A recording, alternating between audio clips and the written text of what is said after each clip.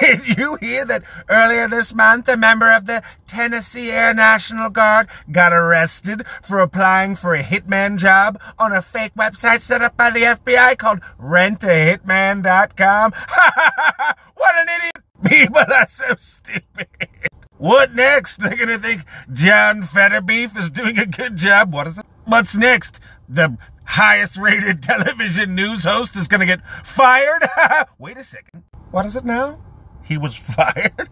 What is that? You gotta be kidding. What's next? We're gonna elect an octogenarian corrupt politician whose son is a crackhead? What is it now? Wow, it sure is crazy out there. What's next? You're gonna have a man run as a woman in a marathon and come in first? What is it? These adults are crazy. What is it? Cut off your pen 15? That doesn't sound good for your health. As long as they don't tell the kids to do it, what is it? No! They're telling the kids to do it? You're kidding. They're really telling the kids to do it? With the slicing and the and the dicing with the with the pen 15? Oh, ugh. Oh no. They're calling it healthcare. What? Gosh, people are insane.